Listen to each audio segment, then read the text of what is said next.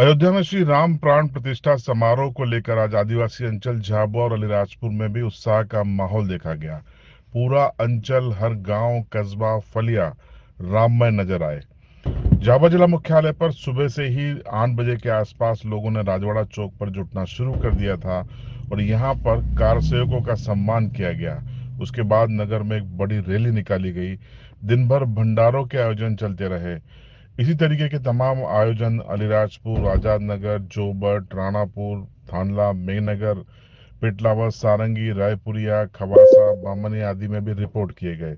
ये तमाम तस्वीरें हम आपको दिखा रहे हैं कि किस तरीके से झाबुआ अलीराजपुर में श्री राम प्राण प्रतिष्ठा समारोह के दौरान किस तरीके का माहौल था, किस तरीके से लोग उत्साहित थे, इन तस्वीरों को देखिए और कमेंट बॉक्स में अपनी राय ज़रूर दीजिए।